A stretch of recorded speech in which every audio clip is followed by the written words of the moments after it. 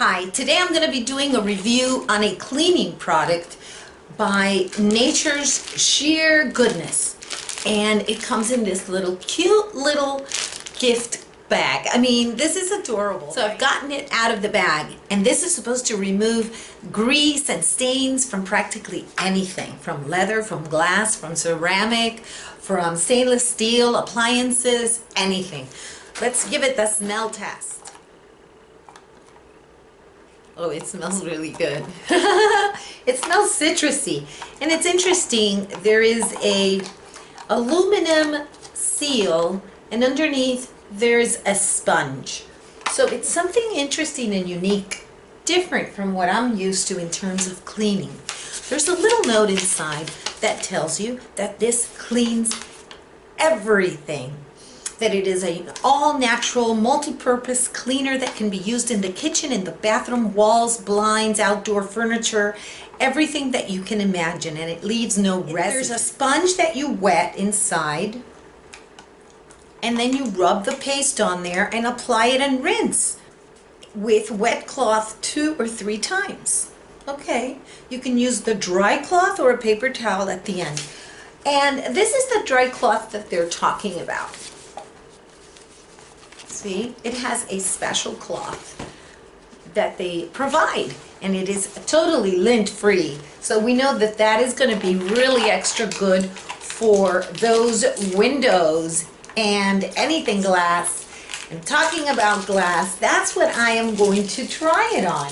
I am going to try it on my handy dandy mirror, which has gotten very dirty. and now I'm going to go ahead and wet this sponge a little bit and try it out. So I've wet the sponge, I've applied it on the paste, and since this is a small area, now I'm going to put it on this mirror. There we go, it's on the mirror.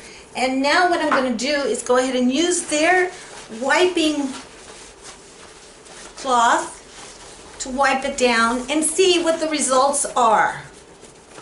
Oh yeah, this is nice and clean. And it smells really good.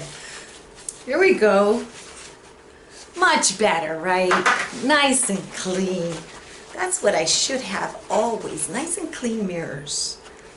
Okay, so that was test number one. And now let's do test number two. This is the heavy duty test. Heel scuff on your shoes.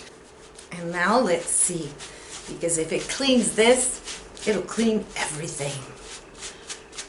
Oh my goodness, it really is cleaning it.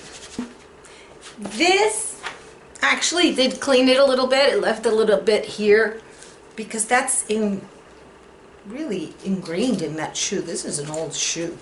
But I like the way it's working. I really, really do. Now I'm going to show you one more thing that we can try it on. And that's bicycle handles. Okay, so these are my bicycle handles. You see how grimy they are? And let's see if I can do this with one hand.